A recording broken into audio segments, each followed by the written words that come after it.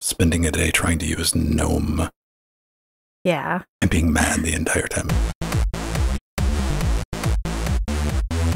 Hey, everybody, welcome back to another weekly Daily Wednesdays. We're going to sit back, we're going to relax, we're going to talk about some of the things going on in the world of Linux. I even saw last night that uh, I couldn't make heads or tail. I, I went reading about it. Apparently, allegedly, the board of SUSE like got in contact allegedly. I, I was like trying to reason because this dude like shows up in the forums and he's like, I can't tell you who I heard it from, but the they're gonna ask us to change our name or Yeah. it doesn't have SUSE in it. And I read through the whole thing and the guy like never drops names, so let's see how that plays out. But this week Mhm. we're gonna be talking about the Cosmic Pre Post Pre Alpha, which is not a name I came up with for once, and DU with style. That's what the show title is called because I'm going to show it off. I, I was really happy about it. I'll tell you why you, you might find it interesting. New version of the Linux kernel. And of course, a very much anticipated release of Open Broadcaster Studio. I'll tell you all about it. But first, what's going on, Jill? You uh, spent like four days at a wedding with nerds, rolling Yes. dice, and uh, what else? So um, I had, you know, a wonderful trip to Disneyland on Thursday for a friend's wedding, and in fact, I can say who it is. It was uh, Linux Chick A member and one of my best friends, Nicole Caceres. She got married to Owen, and it was a wonderful geeky wedding. But what was so awesome is in their vows, uh, they actually rolled a six-sided dice. in their vows because they they all they both play D and D, and that was really fun. Sounds like a good time.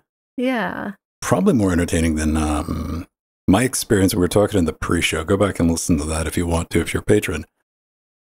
Dealing with the GNOME desktop because I'm working on a Fedora project right now. That means that the test bench has Fedora on it, and by the test bench, if you keep track of how I do, that means the test bench is in the middle of the floor again in the studio because yeah, that makes me finish a project because it drives me insane when it's Yeah, sitting there. I can see it right now. I, I can walk around it, but I'm like, why are you then there? But we're gonna get that done. Good news though. Uh, We talked about it last week. I was kind of excited, I guess I should say. I did the um, little audio science uh, broadcast audio on Linux. I'm Oh, like, yeah. hey, let's put that out. And I, I think no one's going to be interested in this, but I was. So, you know, I did a write up on it, put it on Interfacing Linux, and posted a YouTube video. I'm like, two, three hundred people might watch it eventually, and I don't blame them. And they did for the first two days. Now it just clocked over 10,000. That's pretty nice to see. Um, like that many people were interested in, you know, some older hardware on Linux. A lot of great comments going on there. A lot of new subscribers. So for everybody who watched the video, shared the Mhm. video on the Interfacing Linux YouTube channel, thank you. That was, uh, you know, always a feel good. You're like, oh, people are interested in that. So naturally, the next thing I'm working on, no one's going to find interesting at all because that's how I do stuff. Um, let's go ahead and just hop into it though okay, with something from System 76. yeah. So this is one of the Linux community's most anticipated desktop managers ever. The upcoming in-house built Rust-based Cosmic Desktop for System 76's Pop OS and other distros. And these are the current updates for the Cosmic Alpha. First, as you noticed, uh, Venn scrolled on the screen, the beautiful new Cosmic logo that was just released just a few weeks ago. And I was really impressed by it. I loved it. Gosh, there's been so much work done. They have completed work on customizing the keyboard shortcuts and for switching windows using Super Tab or Alt Tab has been implemented. Also, in the display settings panel, display mirroring has been activated. So you can use multiple monitors to display the same image. I know they were working on that for quite some time. And lots of gaming bugs have been resolved, including games locking up when minimized. Very important to fix that bug. And better performance for compositor multi threading for tasks like, you know, supporting high refresh rates on monitors and multiple monitors. This new version of of the Cosmic Desktop in Rust. Look at all the work people are doing. This is just awesome. And you know, you make sure to check our show notes for the System 76 Cosmic blog updates to read about all the other contributions from third party contributors and more Cosmic Alpha updates. I was reading through it and I was taking a look at it, and you know, a lot of contributions. And one that kind of struck me was BQ Wrong Way, an ambient noise applet. Like, oh, all right, it's been inspired by Blanket, which I didn't know what Blanket was. And I, oh, technically, oh, wow, look at that. They didn't want you to know either. What do we think about this? Uh, cosmic noise, because it, to me, sounds like you reinvented a fan. Well, you know, white noise. you need the background noise. Uh, yeah. I, I, have multiple background noise generators yeah. sitting around the house. They're called fans. I do like background noise, and that's probably something, you know, mm. people want in a desktop. That's something I would never think to yeah. put in there. But I'm like, yeah, because I had nothing bugs me more than just dead silence. I'm like, mm-hmm. it just drives the paranoia. I'm like, something's coming to get me. It's not, but my brain yeah. thinks it is. Put on a little background. You know, this is why I put like on a Twitch stream or something. There's always a little bit of background noise, so it's good to have something like that yeah, going on. Good absolutely. work, everybody at System 76. And you know, I was looking at this and I was thinking about it. I was having traumatic flashbacks of uh, yesterday of spending a day trying to use GNOME. Yeah. And being mad the entire time I was trying to use it. Now, I want to talk to everybody about du. Have you ever used that command? You ever just oh, typed yeah. it into a terminal? And you're like, oh, that that's pretty cool. And you know, you might want to give it a try. In fact, you know, I've set up a little demo here. Let's take a look. Okay. We're going to type in du. Hey, look at that. There's files with, uh, and we are in my Sweet. DaVinci Resolve drive, which has uh, all the video work that I do. But okay, that doesn't really make a lot of sense. And maybe it doesn't because it's not something you typically break out. But why would you normally break that out? And of course, there's a human readable flag on that. Maybe we should show that off too, just to yeah a, a fair comparison here. So if we do du h, that's a little bit better, isn't it? You yes. know, G for gugs, M for mugs, and uh, yeah, look at that, and zero for zeros. But you know, it's just gotta going through that. It gets into the goblet gobbledygook, and you're like, oh no, now, why would you run this in the first place? Ah, common problem, common question, and mm-hmm. uh, easy solution to it. It's what's taken up all my drive space. Yes. You look at your available space. Usually, you don't even run out. You just happen to like glance over, and you're like, "Why am I missing all that?" And I've been there. I've been there. Last time I did it, it was an X11 error log that had grown to like 100 mm. gigs. Oh yeah, that happens. like what? How? And I, I finally just got it. So there is one problem with DU. Sadly, it's not written in Rust. we can't have that in 2024, can we? No. no. Um, but that's why I want to talk about this because that is one of the things Dust fixes. DU plus Rust, like du but more intuitive. And look at it. There's a nice little demo. Yeah. It's got some squiggly lines on it, but it's a handy visual overhaul. I like something that's practical in a terminal, not something that you're going to download and do in the terminal once and be like, oh, that was cool, never use it again. This makes sense. Three shades of gray and a white line of nothing but fullness. Think of it as like GNOME disk usage analyzer without all the extra steps. It's right there. You're already in the terminal. Like, I need to take a peek. And mm-hmm. it's quick, it's to the point, and visually easy to understand. And it'll help you track down that 100 gigabyte log file just to show you. We've looked at that. That's human readable DU, right? Yeah. we're going to go into dust. That. Yeah. Then, like, okay, I know what's going on. And you see all my little tiny single video image recordings at 20 gigs and 100 gigs. And, but it shows yeah. you your directory structure. It's got, you know, color coded and it follows it down like what's what, what's taking up the space. And there's plenty of flags to play around with. Yeah. You remember using it a few years back. Now I should put it. Oh, ab- it's absolutely. been around for a couple of years, yeah. like yeah, uh, one of them. I just remember um, how convenient it was to visually see how much disk space, you know, a folder takes up. So recently I have I have a list of of applications that I have to install when I when I um, install a new distro and I put Dustin on there. So I'd have it. so I'd always remember it. And um, the the the flag that I like to use was dust um, tac F, capital F, which shows you only files. So you can find the largest file on, on your drive. And that was really convenient because mm. I did have a lot of big files on my drive and it was nice to just use just to see those. And I found then that one of the biggest one was actually the Windows executable for wine. Oh. I'm like, oh, so that's what's taking like 50 gigs. Okay. Yeah. Let's talk about mm-hmm. kernel 610. And Jill's going to yeah. tell you a lot about gaming updates. Yeah, and laptop well, updates. Gaming related hardware. Yeah, gaming related. Absolutely.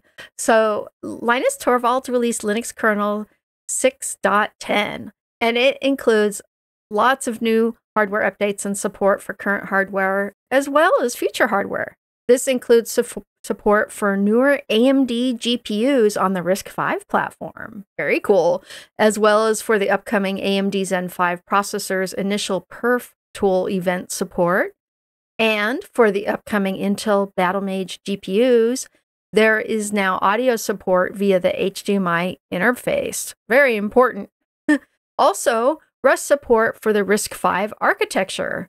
But there are also improvements to current hardware that many people in the Linux community are using that is very exciting, including the Asus Republic of Gamers 2024 series of laptops now have working sound in Linux. And on the Pro model of the Microsoft Surface, the Linux driver adds fan profile switching and thermal sensor reporting. And, you know, read the link in our show notes for all the details. There's lots more hardware enablement available. And it was a very exciting release. There was only one thing of note the entire release. Just one. Just thing. one. The rest of it's fluff. It's trivial. Like, oh, that's cute. Have your toys. Why? Because there's improved FireWire support. Oh, that's very good, Venn. Yes. 1394, that dead technology that I keep harping on for people looking to get incredible deals on audio interfaces. Yes. What's going away? It's dead tech. It's old. I'm like, you don't understand how audio technology moves, son. Mm-hmm. You don't. Uh, compare the specs. They're the same as they were 20 years ago. But marketing told me different, Venn. I'm like, that's cool, Billy. Uh, mm-hmm. Those in the know or in the know. Let's talk about OBS. Yeah. Got a new release. I was very excited. I talked about it on Saturday because uh, Twitch on their X account tweeted out, It's here, everybody. The new thing that they've been working on. I'm like, this is going to be great. It's awesome. And it's like the restream thing, right?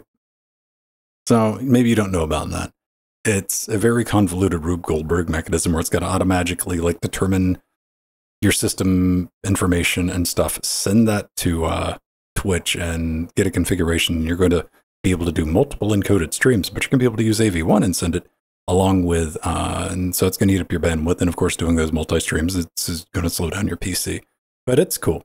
It'll it'll just work. Don't worry about it. You know, they, they sent that out. And they did the tweet, and like immediately after that, they went, oops, our bad. We didn't mean to tweet that because it wasn't ready yet, but it is now. 30.2. And I was like, yes, let's go play. Oh, wait, need an NVIDIA card and a copy of Windows. Yeah. Come on, man. I know. Come on. I, I, I wanted to uh, play around with this. Uh, the multi track video streaming, so enhanced broadcasting. They do say, though, that other operating systems are in the works. So maybe we'll see it eventually. I'm, I'm sure we will. I'm, I'm, not just give me an AV1 and just like YouTube does, and I'd be much happier. That's not the only thing to get excited about, though. We do have hybrid MP4, so that's yeah. going to allow you. You get that big warning, scary message if you try to record an MP, MP4. It's like, ah, if something happens, this file will be destroyed, and it's not mm-hmm. wrong. But the hybrid mm-hmm. option allows you to recover from the video if you have a power outage or something gets corrupted. You can still get to all of your data bits, you know, at least what you had recorded. NV encode is here for AV1. That's awesome. And it's on Linux. But a really important thing is zero copy for NV encode, which is the dedicated hardware inside of your NVIDIA card to do the almost cost free encoding for your games. So you're not taking a performance hit while you're streaming. But you're like, but AMD. And I'm like, don't worry. It also works with QuickSync and VAPI. Ah, you don't have to worry about it because previously, check out this Rube Goldberg thing that was going Mm-hmm. on. The old way, it copied the rendered frames back to the system RAM, then copied them again to the FFmpeg AV frame. But it wasn't done yet. Then it made FFmpeg upload them back to the GPU. Oh boy. As you imagine, that's a bit of overhead and took a little bit of time. So we effectively can say we have Gem and V encode for those in the know working on Linux, as was done in that the one time I was featured in a Linus Tech Tips video oh yeah. was me saying it doesn't work on Linux. You can tell us a little bit more about the hybrid MP4s, and I'll, I'll give you a fun follow up to that. Yeah, cool. So yeah, the hybrid MP4 output format, you know, was added, which Venn was talking about, which allows you to recover the video if you have a power outage or a system failure. Uh, previously, this could only be achieved if you use the Matroska.mkv video format, which that that is the one I would recommend uh, people using on OBS for that reason. You know, the video will be saved up to the point of the power outage, so you wouldn't lose the video or wouldn't get corrupted. And also, the hybrid MP4 supports chapter markers via a hotkey or an API, which you can use in professional video editors like DaVinci Resolve. So, this is a win win all around. The hybrid MP4 sounds fantastic. And since so many people are using it on OBS, this is a very uh, needed feature. That's for sure. One of the fascinating things, um, I've been playing around with hybrid MP4s um, for a couple of months. yeah. Um, because I've been running the nightlies and I saw it show up and I'm like, all right, that, that that's cool. Um, I wouldn't mind trying that. I record in the move container just because everything everything I got in here is on battery backup. You know, I yeah. Yeah. power outage, I got time to stop what I'm doing and save it. Some people just don't have that setup, and I completely understand. But I was like, all right, well, let's try this out. I put it in DaVinci Resolve. It loaded it. I'm like, that's awesome. Hit play. It played it. And I'm like, this is going to be great. I'm going to tell people all. And why haven't you brought this up? And you know, what's it been like five months? Because then I went to scrub backwards to the video, and DaVinci Resolve spite notes to the desktop. Oh no! I guess it was an alpha or a beta. It still does it uh, yeah. on 18, still does it in beta, 19 Oh, beta okay. 4 or 3, Hmm. whichever it's on. So there is your warning. Now, it doesn't do it in uh, Kdenlive or OpenShot. So, Well, that's and good. more than likely, that's what you're going to be using. You're not going to be using DaVinci Resolve anyway. I get Yeah. it. So uh, there's your warning right there. If you do decide to do that, if your production flow is OBS and you want to play around with that, keep that in mind. Uh, if you're going to be ingesting that directly into DaVinci Resolve, don't use that just yet. Hold off. Try it out. Let me know in the comments. Love your feedback. Speaking of that, we got to bounce out of here. We're just a little over time, but I think we managed to squeeze it all in. Do you like Yay, the show? A lot of people, for whatever reason, that YouTube algorithm after like 14 years is like, hey, you're doing a show. We get pretty good content, don't you? We're, we're going to start telling people, and we're going to like, you know, suggest it to people. I'm like, now, finally, Finally, yeah. you, you're going to do that. Soon we're getting a bunch of new subscribers, a bunch of new faces showing up. I always like to remind everybody if you want to support what we're doing, it's easy to do. You go to the web zone or you click the link in the video description. It's right there. We have a Patreon. That's how we fund everything. So if you want to get into our Discord, you want to get the live and uncut versions of this show and a bunch of little bonus things, access to our um, Trackmania server if you want to get into that. Mhm. Um, I'm, I'm cautious to tell people about that because I don't want you to get addicted. And uh, a bunch of other great things. Well, of course, we have Liberapay, PayPal, and uh, Amazon wish list if you want to send something in for any host uh, or just the studio because the studio is a host somehow.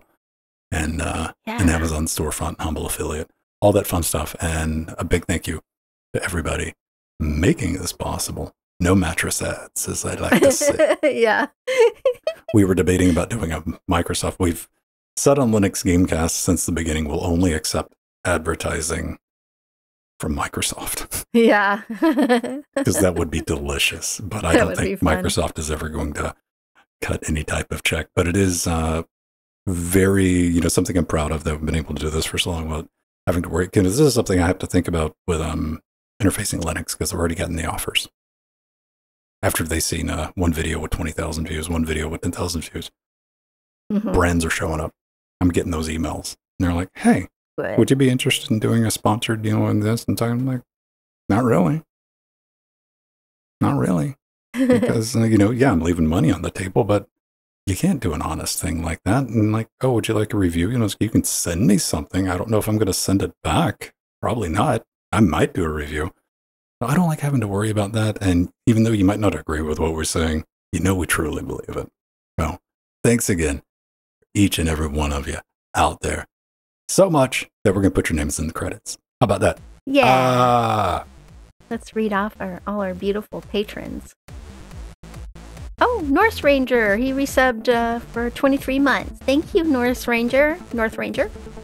We got our our advisors, and one is Artherin. That's in chat. We have our Chicago Kids Kicks people. We have our Sea Monsters, Dirty Dean, DeCresney, our Death Notes, Casey Clism, Swine, Piper, Oil of Hope, Delod, our Chairlings, Craig Hibbard, Douglas Hitchcock, Thomas Martin.